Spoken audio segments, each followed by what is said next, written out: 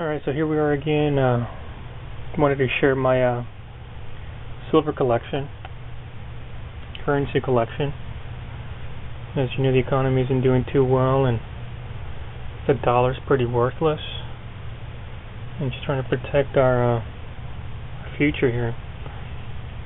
So, I've been buying silver, gold for the last oh four four years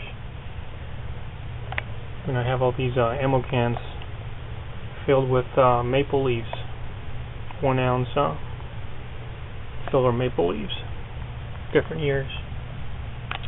Um, I also ran into some gold when it was pretty cheap to buy. Um, got some uh, Mexican silver over here, all one ounces, somewhere over here. Run into these little bars, 10 ounce bars. So 100 ounces right here. You know, each one's uh, 10 ounces.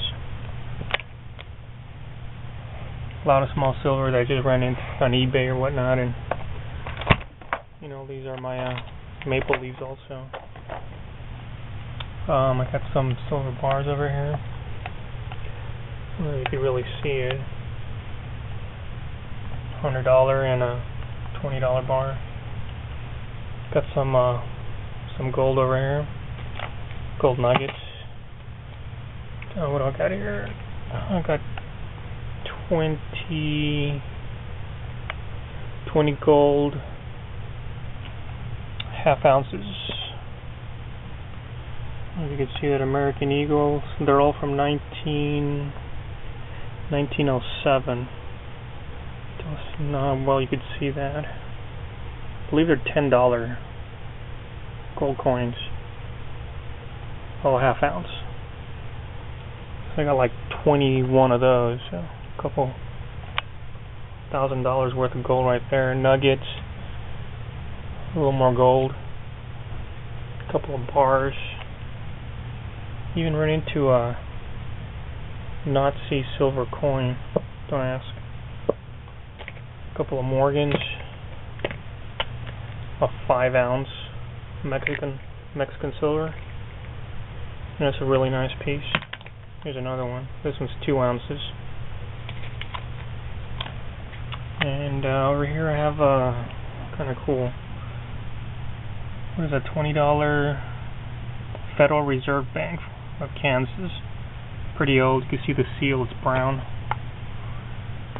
Got some two dollars you can see the colors, green. Got another one with the red seal. Silver certificates. This one's blue. That way you can see it. And you got your uh, yellow ones, $10. These are South Af North African or something, can't remember. Some Cuban currency. These are more silver certificates. See the blue seal over there. And on the top, it should say, yep. Oh, well, you can see that silver certificates. Some I got several of those. And some some Iraqi currency. Well, everybody knows that picture, right? Saddam and got a pack here of uh, currency from Iran. So I believe there's like a hundred, hundred of them in there. And then over here I have uh, several packets of worthless currency that I should turn into silver. Each one holds 500.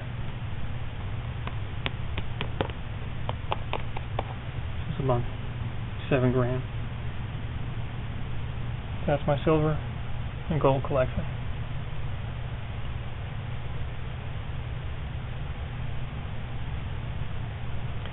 Remember, try to buy as much silver and gold. I know the price has just uh, skyrocketed. I was I've been buying silver since it was at uh about eleven dollars an ounce. Now it's what like twenty eight dollars an ounce. So my gold back then was about three hundred dollars an ounce, a little over three hundred dollars. Now it's what fourteen hundred bucks an ounce. So inflation. Try to keep up. Thanks for looking.